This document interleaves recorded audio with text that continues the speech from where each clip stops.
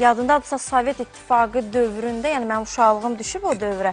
Çox maraqlı bir o planlar var idi. Məsəl üçün pambıqçılıq üzrə, bəli, o planı bir 5 illik var idi ki, e, rus dilində pitiletka deyirdilər buna. Mütləq, yəni sən o planı doldurmalı idin və e, çox maraqlı bizim məs qızıl fondumuzda bununla bağlı maraqlı materiallar da var. Məsəl üçün 70-ci illərdə e, o dövrdə Xanlar adlanan indi isə Göygül rayonunda üzüm yığımı necə həyata keçirilirdi? Doğrudan da Azərbaycan xalqının bax indiki dövrü, Sovet dövrü, bizim insanlar ə, müxtəlif quruluşları görüblər də. Yəni bu gün həmin quruluşda yaşayanlar da o yəni pambıq yığma, üzümçülük, plan doldurma, bax bunlar in, əvvəllər xanlar adlanırdı bura, indi Göygöl rayonudur. Çox maraqlı görüntülər 70-ci illər. Hətta orada məktəblilər də iştirak edirdi bu prosesə. Sovet dövrünün ideologiyasının özünün e, diktə elədiyi qanunlar var idi. Yəni zəhmətkeşlik, zəhmət çəkənlər, işləyənlər, fəhlə sinifi və s. İndi biraz qəribə səslənir bütün bunlar. E, bax, həmin görüntüləri izləyəcəyik. Görək o dövrdə üzümçülük necə inkişaf edib Göygöldə.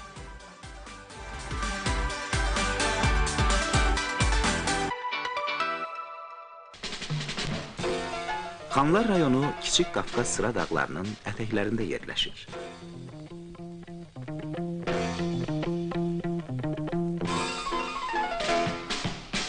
Üzüm tənəkləri neçə əsrlərdir dağ çaylarının sahillərində salınıb. Amma heç vaxt indiki qədər bol məhsul yetişdirilməyib. Son 5 il ərzində məhsuldarlıq 3 dəfədən çox artıb.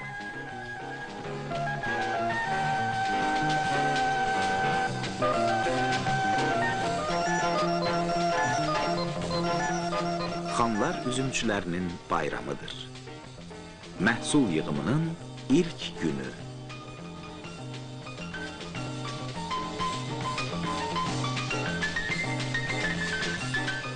Hər il bu vaxt keçirilən peşə mərasimində əmək qəhrəmanları, öz işinin ustaları gənclərə uğurlu yol arzulayır.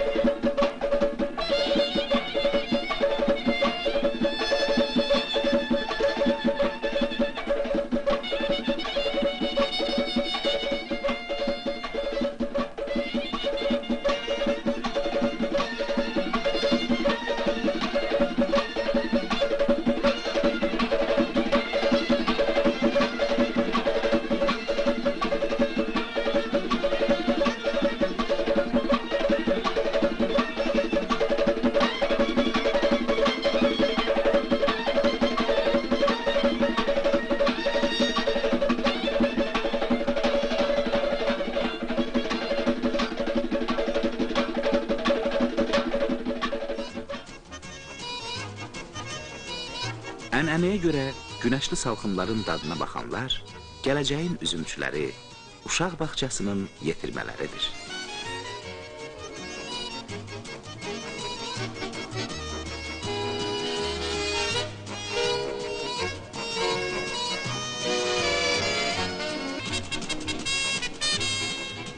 Niyazi Abdiyevin babası da, atası da üzümçü olub.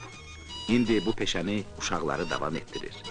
Nəvələri də onlardan geri qalmır. Onun briqadası Gəncə savxozunda rekordçu adını qazanıb.